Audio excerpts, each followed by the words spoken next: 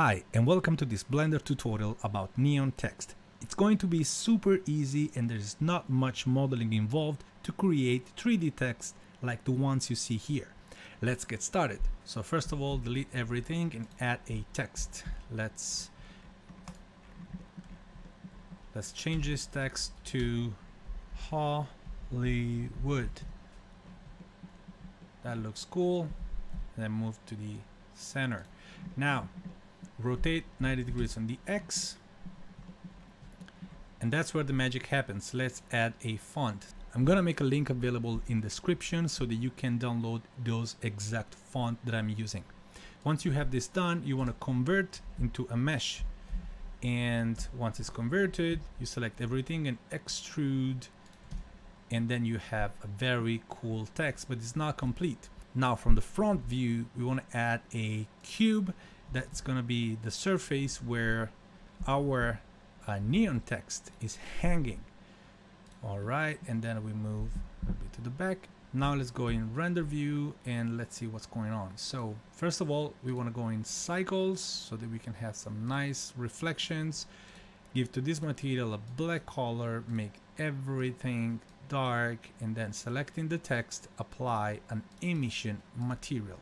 Boom now this is just part of the job. We want to make sure that there is some reflection on the black cube in the back. So we pump it up a little bit uh, the the emission strength uh, so that we can have the reflection. And definitely you know changing the color makes everything cool.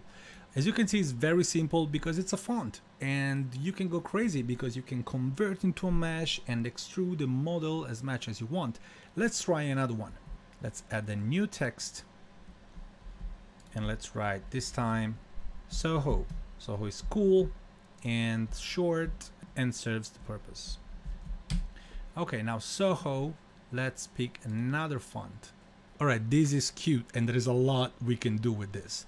Uh, I'm just showing you a little bit. So if you convert this into a mesh, you have a mess, but it's very easy, as you know, to select the thing that you want. So first of all, let's select everything and let's give this guy a material um, I'm going fast, so I'm not, you know, changing the name of the materials, but I strongly suggest you guys to give name to everything, even to the objects into the collection.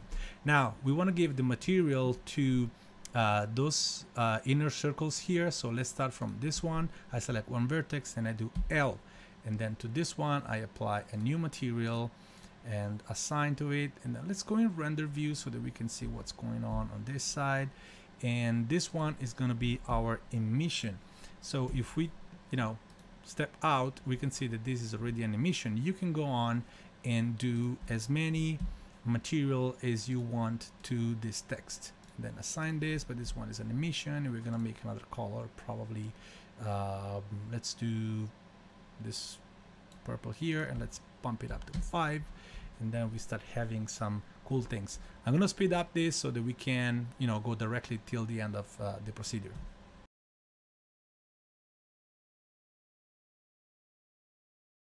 And so we have our cool Soho neon text. Now, as you can imagine, you can extrude this and go crazy with the with the shape.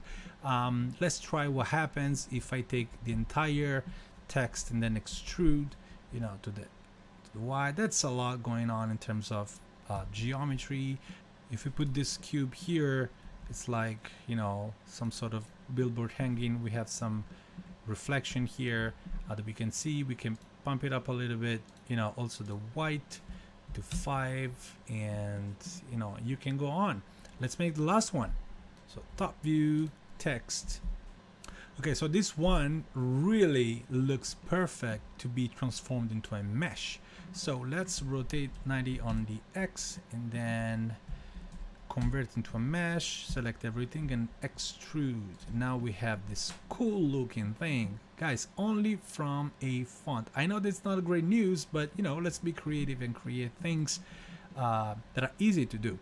So let's make another one, text, edit, and let's write this time New York City. And then for this one I'm gonna use a different font. Let's apply um, a new emission material to this one probably let's say green. Let's rotate 90 on the X and let's apply this to our new black cube. Let's give this a little bit of strength and here is glowing. Let's do Vegas. Let's see what happens with this one. Okay as usual convert and extrude.